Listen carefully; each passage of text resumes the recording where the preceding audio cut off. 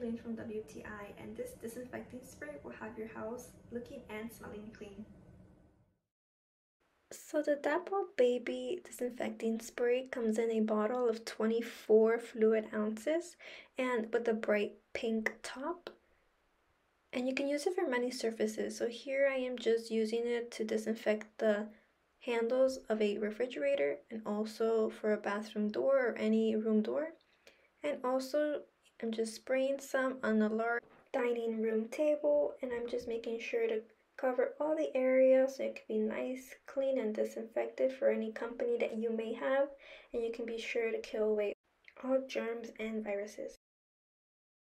So it smells great and it's also a 3-in-1. It, it cleans, deodorizes and disinfects.